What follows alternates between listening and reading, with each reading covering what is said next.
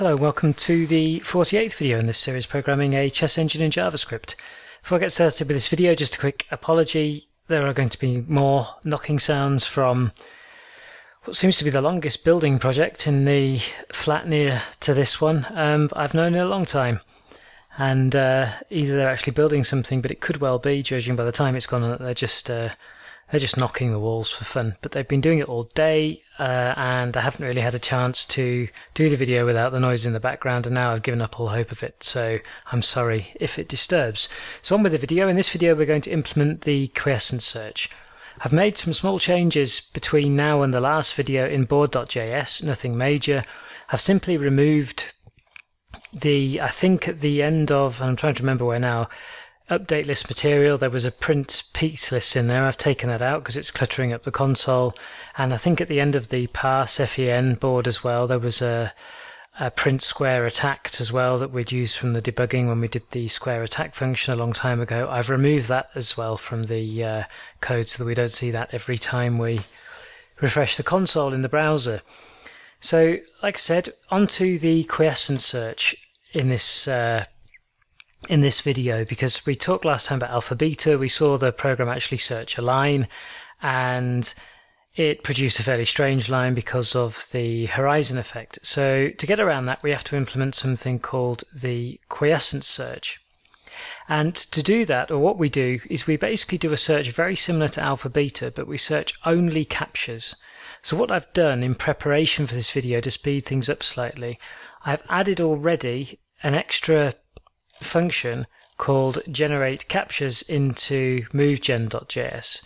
Now, if you're sort of writing this as the videos go, it's literally a very, very bad piece of coding practice, and that was to take the generate all moves or generate moves, copy and paste it, change the name, and I simply went down and removed all of the parts in generate moves that don't generate captures. So if we just quickly go up to the generate moves function here. So for example, for the white pawns here, I simply deleted this section off because it's the quiet moves, deleted the castling off, did the same for the black pawns and the black castling, and then inside the non-slide and slide loops, I simply removed these add quiet move sections out so that we ended up with a function that just generates capturing moves. Right, so back to the implementation of the quiescent search. So how does this work? Well, it needs a name, and we're going to call it uh, qui quiescence, if can spell it, and we take in our alpha and our beta bounds as we exactly as we do in alpha beta. And in fact, we're going to just put in exactly the same code as we have for alpha beta right at the start here. I'm just going to take the search controller, the nodes increase, and the max depth check and drop them into QSearch like this. Oh, and another thing I've moved from the last video is take care to move this search controller increment of the nodes back down below the checkup line here because we'll be returning the quiescence here. We'll change that in a bit. Okay, so that's the first part done, exactly the same as alpha beta. And now it gets a little bit more interesting in the quiescent search because what we can do now is remember we're just trying to find a position where we can get a reasonable evaluation for the current position so that we're not to you know so ensuring we're not leaving a piece hanging or something like that which is what the problem was with the horizon effect.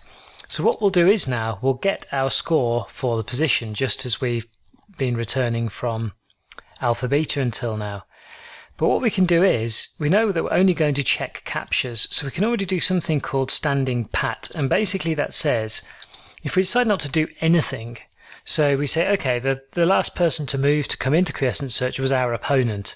So they could have captured our queen or something like this, but let's take the static score from our point of view. And if that score, even before we've made any return capture or anything, is still above beta, then we can safely return beta in the knowledge we're going to beat beta anyway. So this is known as standing pat. Choosing not to do anything, we'll just not make any captures on the board, thank you very much, and we'll return beta. Likewise, you can add a small refinement then to alpha, and you can say that if the score is greater than alpha, then let's also increase our alpha at least to the level of the score we have without making any recaptures or anything. So we can say that alpha equals score. So the critical part here really is here, where we can choose to effectively do nothing and just return beta, because if our score evaluated in the static position now is already above beta, then we really don't need to carry on looking at various captures.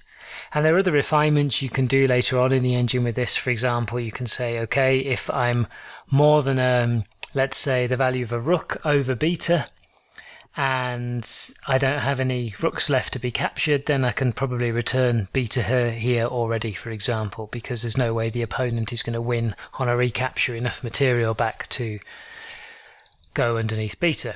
Anyway, so now the next phase to do is actually almost identical to the alpha beta function. So I'm going to do something a bit naughty here and just copy in the code right from the generate moves all the way down to the end of the move loop here and then we'll be taking some stuff out.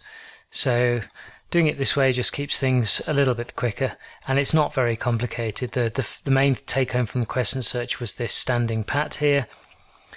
And the first thing we need to do is change the generate moves to generate captures. And now we loop through all of our moves just as we've done in alpha beta. We get our move, we see if it's a legal move, but now we just carry on searching quiescence. We don't call alpha beta again, we call quiescence because we're only interested in captures. Take the move back, we have our check for whether the search is stopped. And now we have our alpha and beta cutoffs as normal, except we're not going to do anything with the killer moves here, and we're not going to do anything with the history heuristic here. So I'll take those placeholders out. And that's the end of the move loop. Now, when we finish the move loop, we don't have a mate check in here. The reason I have legal here is just so that we can keep our move ordering stats up because they're important when you start looking at the, the move ordering. But in turn, because we're only making captures, there could be other moves in the position.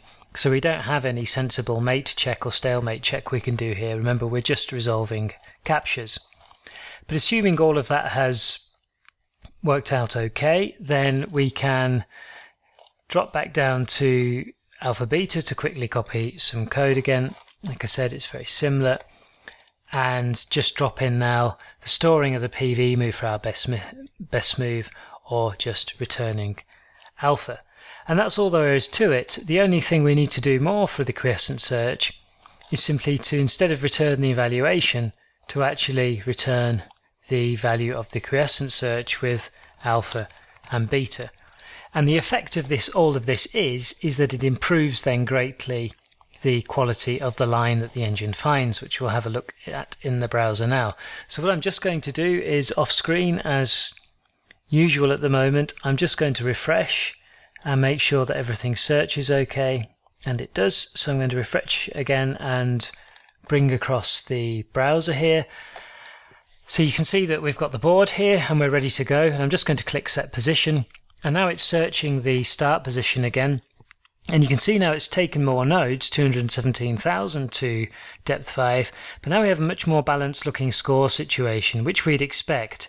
White, depending on odd or even moves, it's either a draw or advantage white, obviously, because certainly for the first few moves of the game, black can equalise by playing symmetrical moves virtually. And indeed, the engine has found the best line, pawn e4, pawn e5, pawn d4, pawn d5, and then bishop to e3, giving the score of plus 25. So there's no crazy queen capturing pawn or very strange looking moves here. They're all moves which are completely dominated, of course, by the piece-square tables and the evaluation. Both sides moving straight away their central pawns to the optimum squares, and then the next move is the next best, which is developing a piece. In this case, it's developed the bishop. Good, so that's the quiescent search actually running. So the question is, what do we actually have to do now? Because the engine is actually searching um, and will already play some sort of game of chess. However, it's extraordinarily restricted by the lack of move ordering.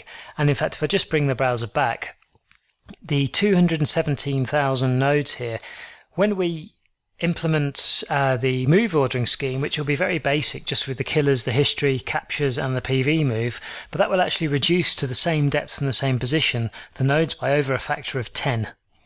So you can already appreciate how much move ordering is important inside the alpha beta.